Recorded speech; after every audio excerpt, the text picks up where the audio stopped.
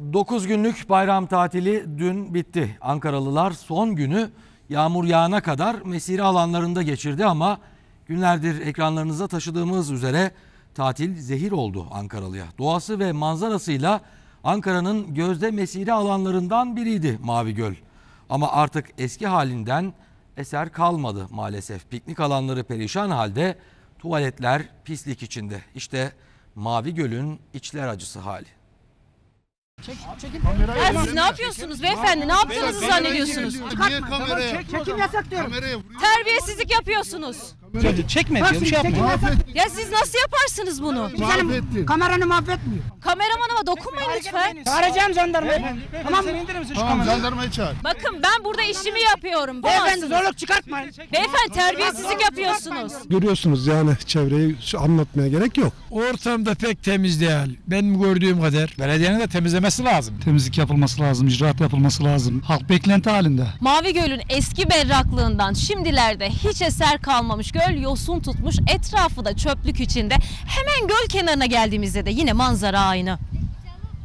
Etraf çok kirli. Temizlik yapılmıyor. Gerçekten pis kokuyor her taraf. Göl de kirli. Etrafta pet şişeler, naylon poşetler, çöpler hepsi var. E, Şu anda eleman yok burada çalışan. Biz daha hiç kimseyi görmedik yani bir kişi gördük sabahtan belli. Mavi Gölü vatandaşların kullanması için yapılan ızgaraların içi de yine rezalet. Hemen gösterelim.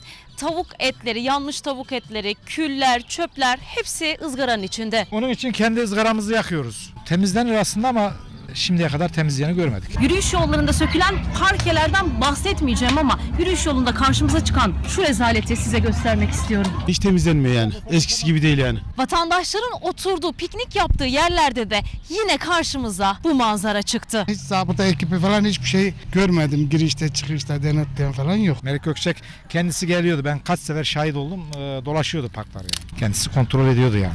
Melik Gökçek zamanında bu park daha güvenli, daha güzeldi, daha neşeliydi. Her taraf yemyeşildi. Melik Gökçek gibi bir idareci yani Ankara'ya gelmedi. Vatandaş Mansur Yavaş'ın ilgisizliğine isyan ediyor. Melik Gökçek'in zamanında iyiydi. Mahsun Yavaş hiç bakmıyor. Melik Gökçek'in yer hiç kimse tutamaz. Adam bir bambaşka adamdı. E, tekrar e, koysaydılar belki yine o kazanırdı. Şu ilerideki çöp yığınları falan çok kötü kokuyor artık. Yani bir çözüm bulunması lazım. Herkes ailesiyle gelip piknik yapıyor. Hoş bir görüntü değil yani. Heykelleri bırakıp da biraz da temizliğe özen gösterirlerse daha iyi olacak. Buranın da birkaç heykeli eksik. Farkında mısınız bilmiyorum da. Birkaç bu heykel de buraya bekliyoruz. Temizlik biraz beklesin. Biz temizleriz sorun değil. Yeni başkan hiçbir yerde çıkıp da bir icraatını duymuyoruz biz. Ben vatandaş olarak duymak isterim. Bir yerlere heykel dikmekle bir şeyleri putlaştırmakla olmuyor. Vatandaşın özenle topladığı işte buraya koyduğu çöpler de alınmıyor. Bak hepsini biriktirip çöpümüze koyacağız. Oradan belediye almak zorunda. Melik Başkan zamanında temizdi. Biz buraya sürekli pikniğe geliriz. Gözle görülür bir fark var. Melik Gökçek zamanını çok iyi biliyorum.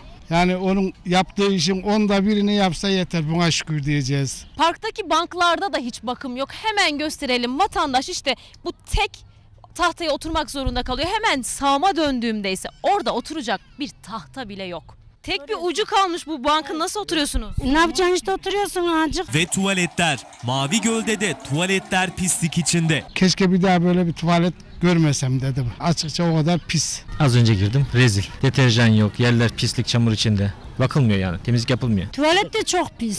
Sabun yok falan yok. Gittik geldik yani gözümle gördüm. Tuvaletler leş gibi. Girme imkanınız yok kesinlikle yani hiçbir hijyenlik hiçbir şey yok yani. Tuvaletlerde sabun bile yok. Tuvaletler pislik içinde. Ben çocuğumu şahsen götürmem tuvalete. Güvenlik görevlileri diğer parklarda olduğu gibi Mavi Göl'de de beyaz haberi engellemeye çalıştı. Mavi Göl'de de yine güvenlik engeline takıldık. Güvenlik görevlileri çekim yapmamızı istemiyor.